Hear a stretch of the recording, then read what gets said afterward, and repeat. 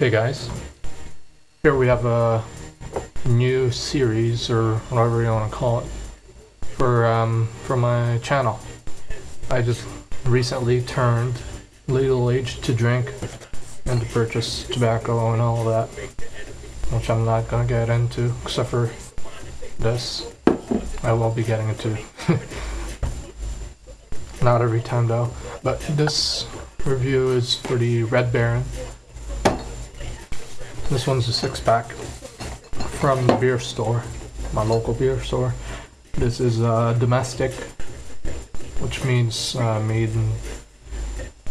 There's three difference: domestic, premium, import.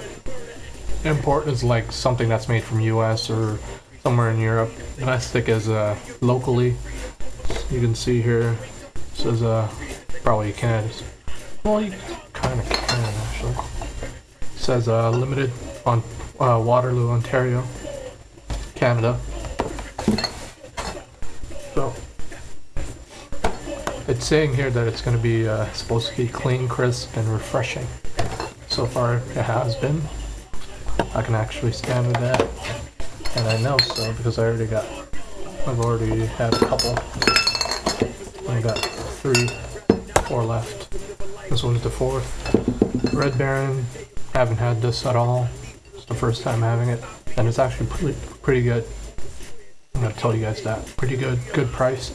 It was like eight, eight seventy five or so for a six packer. The um, Premier Blonde Lager, Lager, whatever. It's uh 4.8, 4.8 alcohol per per volume, per uh, volume, and the, it's uh 3 4 341 milliliter brand. It's pretty good actually. So I do recommend this. Um, since I'm making this video.